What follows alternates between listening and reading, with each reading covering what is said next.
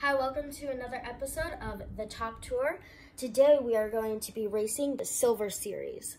I really like this car because it has a dragon head. I love dragons. And I don't think this one's going to race very well, but let's find out. Ready? Three, two, one. Winner, lane five. Congratulations, Lane 5. You won. Uh, see you next time on the top tour. Give us a thumbs up. Bye.